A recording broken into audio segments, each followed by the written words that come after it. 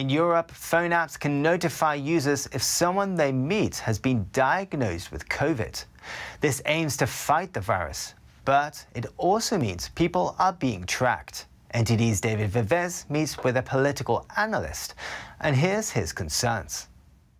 For about a year, contact tracing technologies have been used in Europe to help slow the spread of the CCP virus, also known as novel coronavirus. While it allows people who've activated the application to know if they have been in contact with COVID cases, it also keeps track of people's movement.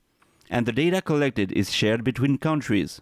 Another measure supporting this contact tracing system, the Health Pass, which allows people to travel within Europe. Political analyst Eric Verhaeghe says in Europe, the app and pass reinforce each other's population tracking. The Health Pass is part of a strategy to track people from the European Union. Its objective is to get people used to being tracked. On April 29th, French President Emmanuel Macron implemented the Health Pass in France, saying it was his idea. By the end of May, the EU Commission suggested the sanitary pass should be implemented on European countries. We then understood this was one of the measures discussed by government leaders within the European Council. Et donc, sur l'affaire the NIH cites a study by Oxford University that says around a quarter of people in the UK use the app on a regular basis. In France, the COVID app has been activated by 20 million users, according to government figures.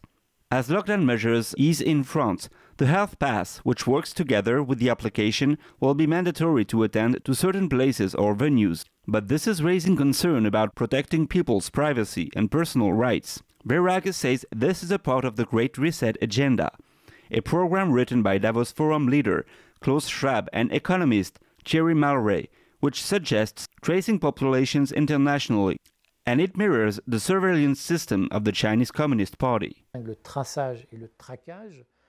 Schwab and Malray say there are tracing and tracking technologies.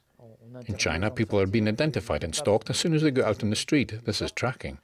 Whereas tracing, as in Europe, means once people go out on the street, we want to be able to identify people and they are in contact with, where they go, etc. According to official sources in the UK and France, the more people use the app, the better it will work in preventing people from getting the virus.